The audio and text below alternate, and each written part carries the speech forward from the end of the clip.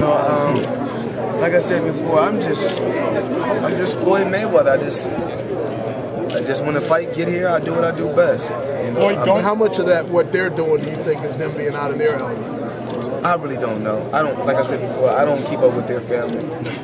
You know, I don't keep up with, with what they're doing. I just try to focus on me, focus on my family, and just stay in my lane. Like, how important is it for, for a fighter to have some kind of like major edge that drives him? I mean, you've had that in the past, the argument about who's better, you or Pacquiao. You know, more money that you could make.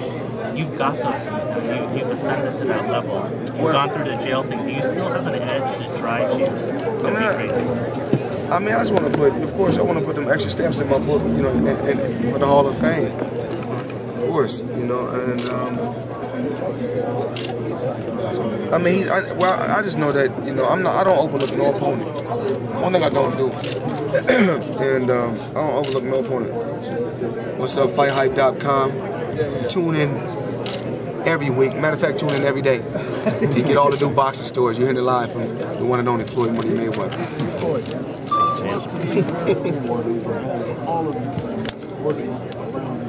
Well, actually, people don't people don't know that my family, my whole family work in the gym.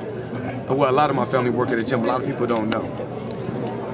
My mother, two brothers work in the boxing gym, and my father, two brothers work in the boxing gym. My mother, two brothers, they run the boxing gym, and my father, two brothers, they train the fighters, and my father also train train fighters in the boxing gym. So, one big family, one big family. Hey, Floyd, now after that you seven- said- after 17 years in the sport, I mean, you're you're you're at the pinnacle.